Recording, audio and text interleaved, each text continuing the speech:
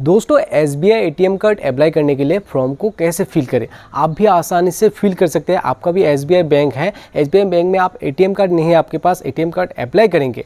Apply करने के लिए बैंक में जाने पर आपको एक फॉर्म देगा। उसे फिल कैसे करते हैं? बहुत ही आसान है। आपको इस वीडियो को पूरा देखने के बाद आपको सीखने को मिल जाएगा। आप भी फिल कर सकते हैं आसानी से। असलम दोस्तों, कैसे आप लोग? उम्मीद करते हैं आप लोग खैरियत से होंगे।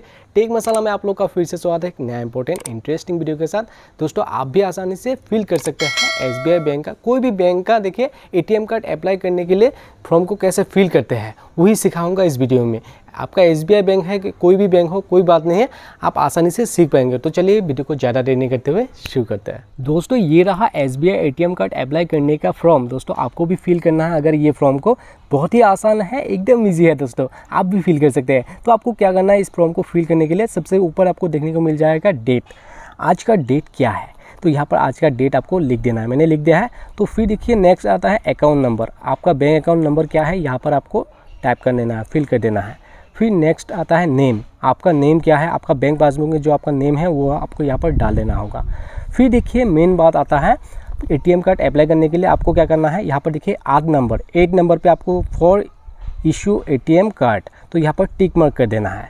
फिर और देखिए मैंने ऊपर और दो टिक मार्क दे दिया है फॉर चेंज मोबाइल नंबर आपका मोबाइल नंबर अगर ठीक है तो कोई बात नहीं, यहाँ पर टिक मार्क नहीं देना है फॉर चेंज मोबाइल नंबर पे। और फॉर एसएमएस अलर्ट आपका पुराना फ़ोन नंबर अगर ख़राब हो गया है सिम ख़राब हो गया है तो यहाँ पर टिक मार्क कर दीजिए और जो नया फ़ोन नंबर है, वो यहाँ पर डाल दीजिए। मेरा पुराना वाला फ़ोन नंबर ख़राब हो गया है, वो सिम ख़राब हो गया। तो नया, अभी सिम है, नया फ़ोन नंबर है तो वो यहाँ पर डाल दिया हो।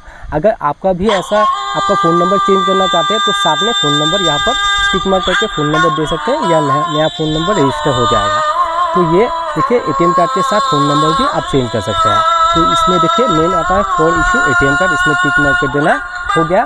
फिर आपको क्या करना है? नीचे आना है। नीचे आने के बाद देखिए old name address new name address आपका पुराना घर कहाँ था? अगर पहले अलग जगह पे रहते थे, यहाँ पर नेम और अलग जगह एड्रेस यहाँ पर डाल दीजिए। और देखिए न्यू नेम एंड एड्रेस अभी देखिए, आपका नेम तो एक ही है तो एड्रेस पहले अलग था तो अभी अलग जगह पे रहते हो, वो यहाँ पर डाल देना होगा। अगर एक ही जगह पे पहले से हो तो दोनों सेम सेम लिख दीजिए, कोई बात नहीं है। हो गया है, फिर एकदम नीचे देखिए सिग्नेचर यहाँ पर देखिए सिग्नेचर ऑफ़ कस्टमर देखिए फुल नेम यहाँ पर देखिए बैंक पासबुक में जो फुल नेम है सिग्नेचर यहाँ पर आपको सिग्नेचर कर देना है। मैंने यहाँ पर ऊपर गलती से कर दिया था ये, यहाँ पर नहीं, यहाँ पर दिया हुआ है, देखिए फुल नेम यहाँ पर लिखने को। फिर यहाँ पर लिखना है। फिर यहाँ देखिए ऑथोराइज बैंक ऑफिशियल। यहाँ पर बैंक ऑफिशियल, यहाँ पर आपको कुछ भी नहीं करना है, गलती से भी। दोस्तों, बैंक के लोग आपको बोल ही देगा और यहाँ पर आपको पढ़ने को मिल जाएगा। साथ में आप डॉक्यूमेंट्स दो डॉक्यूमेंट्स ओनली दो डॉक्यूमेंट्स आप यहाँ से कोई भी, जैसे कि pass passport voter ID voter ID card Aadhaar letter driving driving licence PAN card देखिए एनर्जी है कार्ड तो यहाँ पर आपको सिंपली आपका वोटर आईडी हो या आधार कार्ड हो या पैन कार्ड हो कोई भी दो आप यहाँ से, यहाँ साथ में इसके साथ जेरोस करके इसके साथ स्टेबल मार के बैंक में जमा दे दीजिए।